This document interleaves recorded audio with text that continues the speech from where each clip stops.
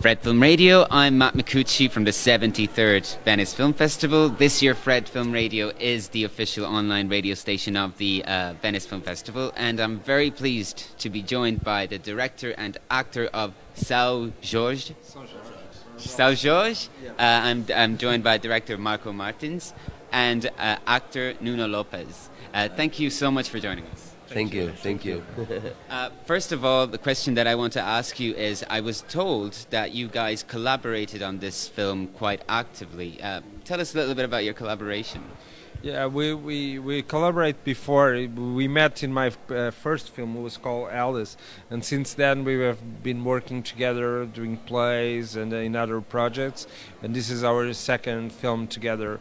And uh, the first idea of the film came from actually from Nuno. He wanted to do a film about boxing which I didn't find so interesting. But since I didn't have other projects, I started to investigate about boxing, and uh, and we did it that together, and with uh, also with the with the uh, with other writers, and and uh, so we started to investigation about boxing clubs and who was those guys who do boxing uh, non-professional because in Portugal there is no professional boxing, it's yeah. all, all no professional, and uh, we had this cliche that all of them, you know, are big guys and work, you know, as security guards or private security or something like that.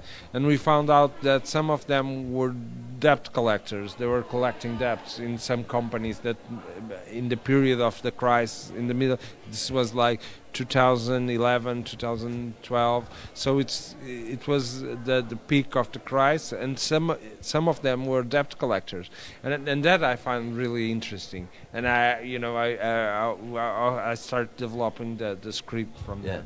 Then uh, uh, about that time we found out that we had a movie to tell because it's it's the story of a, a man who has a lot of debts, and to fight them he has to become a debt collector and and that that was the point I think that both of us we, we realized okay there's a movie here and and the, this is a good metaphor to talk about the crisis and the austerity in Portugal at that time. And the character that you play has a very very strong personality. Now how how do you get into a character like that?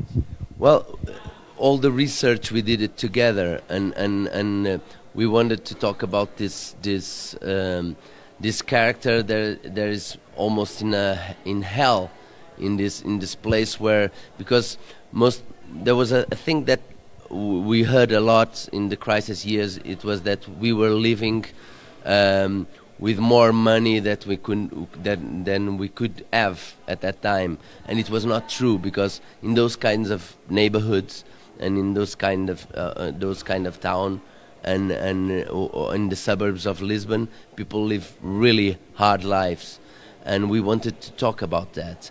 And how can an honest man uh, uh, with a family and with the, the, desire to have a family can can can survive in in a place like that? And especially in a moment like uh, uh like we were passing during the crisis uh, and also there was this good metaphor of because Europe was collecting Brussels was were collecting our debts at the time.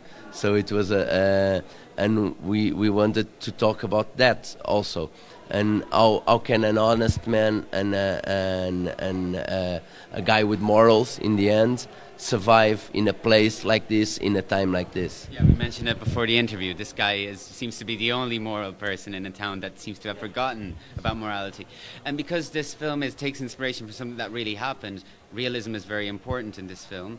Uh, how did you try to achieve that in the style of the film itself, of Sao Jorge?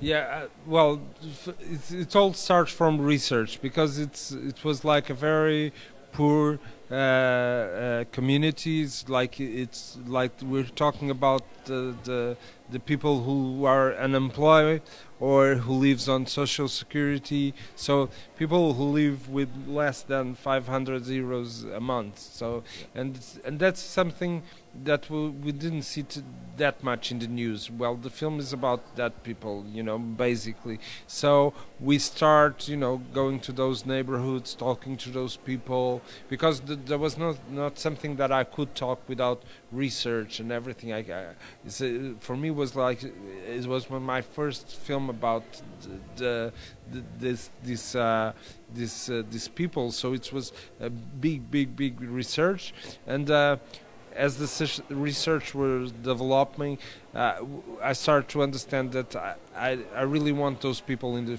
in the film. I, I yeah, so I, I didn't want like actors to play most of them. Yeah, so very interesting, and they and they were good in that film. So yeah, they, they, were. Yeah, because they were they were doing what what they, it was the same kind of conversation we had. You know, so it's, yeah.